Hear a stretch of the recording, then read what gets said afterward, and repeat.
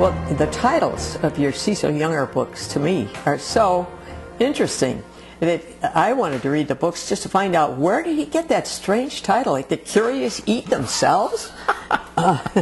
Yeah. or The Music of What Happens? Well, it's it's again it goes back to how I write these books, and I'm not recommending this as a way to about, about going about it, but often I'll start with just this one thing, a question, or and it a lot of times it comes from my reading a piece of poetry, um, where uh, well back years ago in college I read in a notebooks uh, by a poet named Theodore Roethke, who I really adored. He was a Pulitzer Prize winning poet. He taught at the University of Washington for years, although I never got to study with him.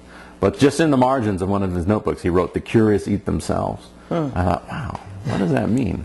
And that's uh, I pondered on that, and so I just tucked it back in the way in my head. And then uh, when a publisher asked me what the title of my second book was, I just just came to my came to my mind. I said, "The Curious Eat Themselves." And at that time, I was uh, for my second novel, I was working as an environmental crimes investigator in the Arctic. I was living in Fairbanks, where my wife was going to graduate school. And so this whole the theme of the curious eat themselves, and uh, I was working in in uh, like in the oil patch up north, and thinking about how as we use our resources, we're depleting our resources, and and so uh, it just became a, a theme. All the books title I usually start with the title as a, as sort of an umbrella for the different themes that I'm working on. The music, what happens, came, comes from a, an old Irish fairy tale.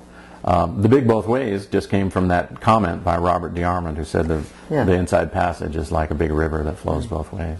You, you mentioned in, in the dedication to, in one of your uh, Cecil Younger books that uh, your wife, uh, Jan, was a, a great help to you and, and actually taught you to write. Uh, I was wondering uh, in what ways she, she did uh, assist you. Oh, well, in a couple of different ways, I think. Uh, one is that, I mean, I, uh, as I go around and talking to young writers, and that supportive spouses have done more for the arts than, you know, the MacArthur Foundation. I mean, a supportive spouse does more for an artist um, than than anyone else can. Um, and so, you know, in that way, she she made it possible for me to write.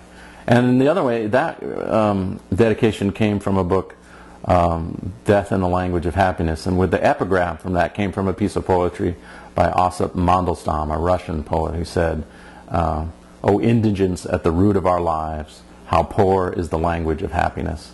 What has happened before will happen again, but still the moment of meeting is sweet. And uh, I, it's one of those that I read and I thought, oh, I just love that. I don't know quite how.